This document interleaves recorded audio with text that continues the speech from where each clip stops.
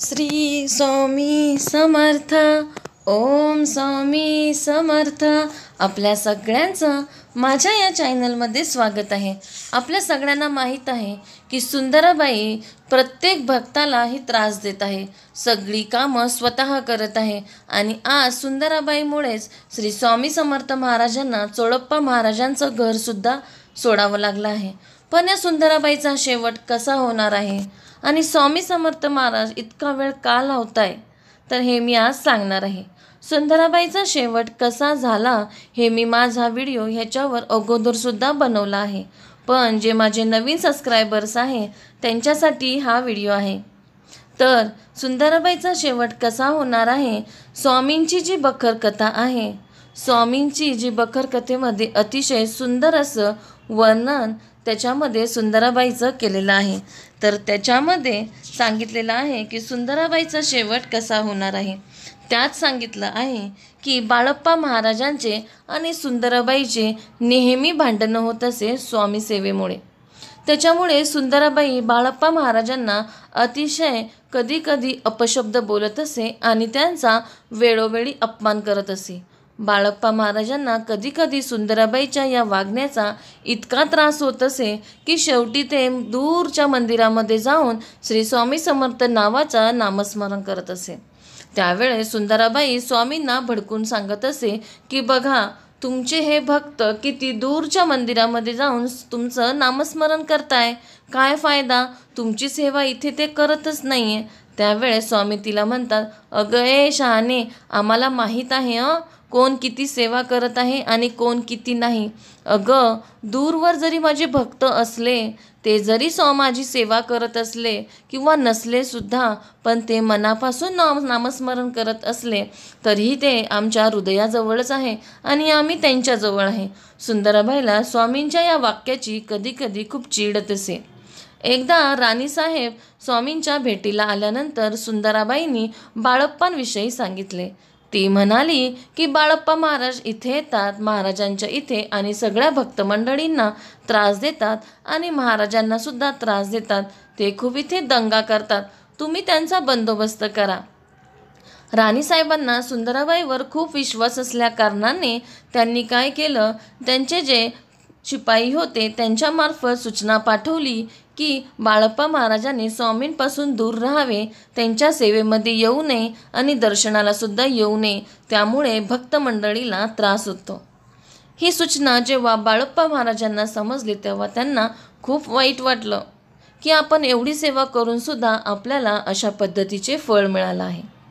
त्यावेळेस ते खूप रडत रडत दूरवर बसले होते. त्यावेळेस स्वामी समर्थ महाराज पुन्हा स्वतःच्या छातीवर हात ठेवतात आणि आपल्यास भक्तांपर्यंत पोहोचतात. सुंदराबाई पुन्हा सांगती त्यावेळेस स्वामी म्हणतात आम्हाला माहीत आहे की खरा कोण आहे आणि खरा कोण नाही.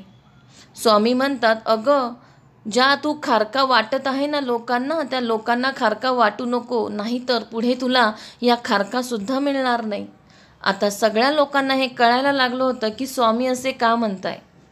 त्यांना वाटलं की आता सुंदराबाईचा शेवट जवळ झाला आहे. कोणीही पेढे आणले बर्फी आणली फळं आणले तर स्वामी म्हणायचे सुंदराबाईला की हे खाऊन घे बरे नाहीतर तुला पुढे मिळणार नाही. सुंदराबाईला त्यांचा अर्थ कधी कळालाच नाही.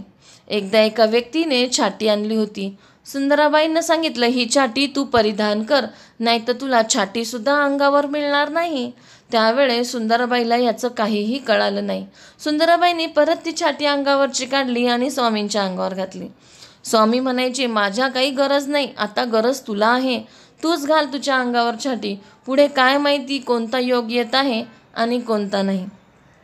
खरंच सुंदराबाईला स्वामींचे इशारे कधी कळलेच नाही. आणि सुंदराबाईचे सर्व लोकांस अतिताप दिल्या कारणाने सेवेकरांनी मामलेदार कारभारी यांसकडे अर्ज केले. परंतु बाई साहेबांचे अंग असल्या कारणाने त्यांच्या अर्जाचा काहीच उपयोग झाला नाही. पुढे त्यांनी अर्ज कलेक्टरांकडे केले. त्या प्रकारची चौकशी होऊन बाईला काढून टाकण्याबद्दल हुकूम आला. तिच्या सगळ्या मालाची जप्ती केली. पण तिने जे तिच्या घरी पाठवलेले होते त्या मालाची फक्त जप्ती करण्यात आली नाही. तसेच नानासाहेब बर्वे कारभारी यांसकडे कलेक्टरचा हुकूम आला असता त्यांस तो हुकूम अंमलात आणण्याची त्यांना भीती वाटली. कारण बाई या महाराजांच्या प्रतीतील आहे. तिला काढली तर आपल्यावर श्री स्वामी समर्थ महाराजांचा कोप होईल असे त्यांना वाटले व हुकूम अमान्य केला. बर्वे यान संकट पाडून आठ ते चार दिवस या विचारातच ते होते आणि एक दिवस तेच एक दिवस स्वामींच्या दर्शनाला आले असता महाराज म्हणाले काय रे असाच हुकूम बजावतोस काय? हे ऐकून नानासाहेबास समाधान वाटले व धैर्य आले. कारण श्री स्वामी समर्थ महाराज नेहमी सांगायचे की कोणीही असो आपण आपली जबाबदारी पूर्ण पाडायची. दुसऱ्या दिवशी फौजदार बर्वे यांनी महाराजांपासून बाईस दूर करावे असा त्यांनी हुकूम दिला. फौजदार हुकूम घेऊन चार शिपाई घेऊन तसेच महाराजांकडे ओंडाकराच्या वाड्यात होते. तेथे गेले आणि समर्थांचे दर्शन घेऊन बाईस म्हणाले की आस्था पावत मातोश्रीप्रमाणे तुम्हाला आम्ही मानले. हल्ली सरकारचा हुकूम मी बजावत आहे. तेथे माझा उपाय नाही. आपण महाराजांजवळ बसू नये. चालते व्हावे. लोकांसारखे दर्शन घ्यावे. या महाराजांजवळ राहण्याची सरकारने तुम्हाला परवानगी आता दिली नाही असे सांगितले. प्रथम बाईस ती थट्टा वाटली आणि सुंदराबाई जोरजोरात हसू लागली. परंतु फौजदारांनी सांगितले की अहो हसता काय? उठा लवकर. ही चेष्टा नाही आहे खरंच असा अर्ज आलेला आहे. हे ऐकून मात्र बाईस वाईट वाटले. हुकूम असेल खरा पण बाई फौजदारांची आणि महाराजांना प्रार्थना करू लागली. तिला वाटलं नेहमीप्रमाणे आता स्वामी माझीच बाजू घेणार आहे आणि मला इथून काढून टाकणार नाही. तरी ती ऐकेना मग श्रींस म्हणाली तुम्ही तरी काही सांगा ना फौजदारास. महाराज काहीच बोलले नाही व बाई उठत नाही असे पाहून फौजदार शिपायास म्हणाले पाहता काय? बाईस ओढून बाहेर घालून द्यावी असे म्हणता शिपाई जवळ आले. ते पाहून बाईने मोठा आक्रोश केला. ती मोठ्या मोठ्याने रडून म्हणे की मी दगडापुढे डोकेच फोडून घेते आणि प्राण देते. शिपाई धमकी देऊन म्हणाले की शिंबायांना धमकी देऊ नका. आणि बाईने तिने महाराजांजवळ जाऊन महाराजांचे पाय धरले आणि म्हणाली हे स्वामीराया आजपर्यंत आम्ही तुम्हाला मुलांप्रमाणे पालन केले. मला हा प्रसंग आला तर त्यांना काहीतरी सांगा ना. मी तुमची आई नाही का? परंतु ही गोष्ट श्री स्वामी समर्थ महाराजांना आवडली नाही. आणि ते महाराज फौजदाराकडे पाहून म्हणाले अरे पाहतोस काय? या फौजदारनी स त्यांना धीर आला आणि शिपायांना म्हणाले पाहता काय? स्वामी समर्थ महाराज म्हणाले ओढा हिला. असे म्हणताच शिपायाने फराफरा ओढून बाईंना नेले आणि सांगितले खबरदार स्वामी म्हणाले परत पुन्हा आत येशील तर. आणि फौजदारांनी तिला जरब दिली की तुम्ही असा आक्रोश करून डोके फोडाल तर आम्ही तुम्हाला उचलून घेऊन जाऊ आणि पिंजऱ्यात ठेवू असे सांगताच बाईचा निरुपाय झाला. नंतर बाईच्या जिन्सा हरभरे तेल लुगडी छाट्या जोडे भांडी गुडगुड्या वगैरे आणखी काही सामान होते. ते सर्व सामान जप्त केले. त्यात बर्फी पेढे खारीक सगळं काही निघाले आणि ते कुजून गेले होते कारण तिला लपून ठेवायची सवय होती.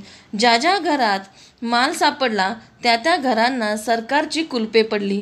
पुढे तो माल पंचांच्या मार्फत लिलावून तेच पैसे महाराजांच्या कामात पडले. आणि तसेच स्वामी समर्थ महाराज मग याचवरून सांगतात की क्षणाचा राजाचा रंका होतो. अशी मन आहे ती इथे अनुभवायला आली. बाईचा हुकूम मामलेदार फौजदार यांसवर चालत असे. तो एका घटनेची तिची अवस्था काय झाली? बाईला असे वाटे की सुंदराबाईच्या मनातले सगळे संकल्प हे मनातच राहिले.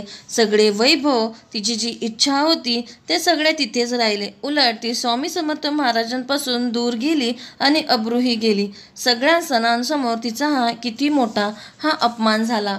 आणि सगळे जणांनी अक्कलकोटीवासींनी हा दडाही घेतला की जिथं अति लोभ आहे तिथं अति माती होती हे सुंदराबाईंनी दाखवून दिलं आहे. या सुंदराबाईमुळे श्री स्वामी समर्थ महाराज सर्व भक्त मंडळींना हेच सांगता की सेवा करा पण कोणत्याही फळाची अपेक्षा न करता कोणताही मनामध्ये स्वार्थ न ठेवता. आणि ज्या पद्धतीने सुंदराबाईंनी हे काम केलं होतं म्हणून स्वामी समर्थ महाराजांनी तिला एवढी मोठी शिक्षा केली. अशा पद्धतीने सुंदराबाईचा शेवट होतो की ती एवढी स्वामींची सेवा करूनसुद्धा स्वामीसुद्धा काहीही करू शकत नाही. उलट स्वामींनीच तिचा सगळ्यांसमोर तिला दोन शब्दसुद्धा सुनावले. म्हणजे थोडक्यात काय? तर तिचासुद्धा अपमान केला. कारण स्वामी समर्थ महाराजांना हे माहीत होतं की तिच्या ह्या त्रासामुळे बाकीच्या लोकांना किती हा त्रास होत आहे. पण सुंदराबाईला हे कधी कळलंच नाही.